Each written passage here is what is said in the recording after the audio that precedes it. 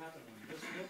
Because the last time he was here, he told us we'd turned the corner, that the euro crisis was over, and he hasn't bothered to come back and see us. So you've done exactly what I hoped wouldn't happen and all that. I get, all I get is bad news. Nobody comes here with things that work.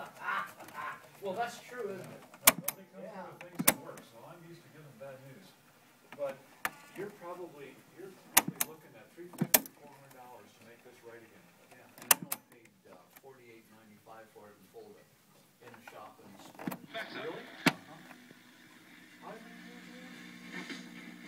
Everything we.